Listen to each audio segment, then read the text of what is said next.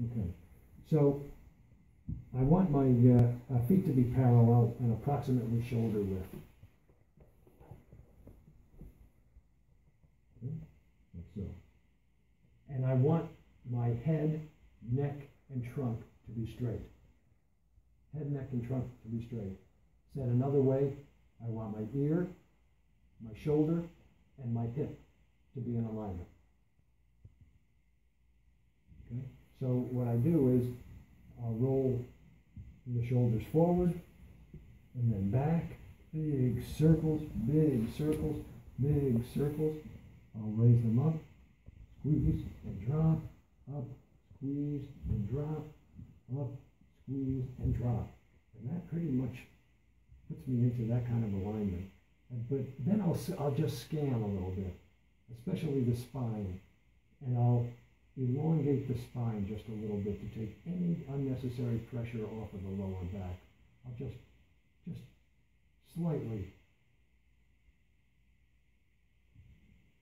elongate the spine a little bit. Okay? Now, what I don't want to do is be in any kind of a military posture where it's tight, right? And contracted up here. No. You know, bring the shoulders down. You don't want to have any pressure in the neck area and the shoulders. Shoulders are down, but the head, neck, and trunk are straight. Ear, shoulder, hip. Yeah? Okay. Chin is slightly elevated. And that's where we want to stay, just like that. Now, there's a lot of energy that goes out through the digits. And we want to capture that energy to keep it in the body. Okay, so it's just like uh, electricity. We want, we want to complete the electrical circuit. And uh, there are different, uh, uh what are called mudras or, or locks uh, in, in yoga science. The finger lock is very familiar to us. It's the OK sign. Okay? And so we just join the thumb and the index finger and place our palms on our thighs. If we have longer arms, we'll be closer to the knees. If we have shorter, toward the center of the thighs. I have seen some people who have their hands up. To me,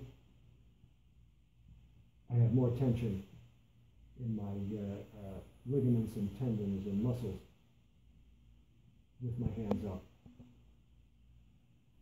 I have my hands down like this. So I have the finger lock, and there's something called a root lock, which is uh, the, uh, the muscle at the anus, the anal sphincter.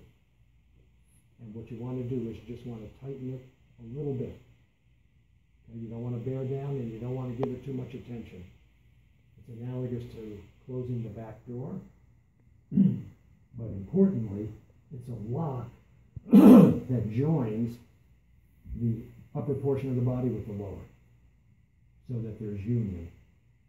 Union, union. That's one of the definitions of yoga, union. So we want the upper torso and the lower joined by that bond, by that lock.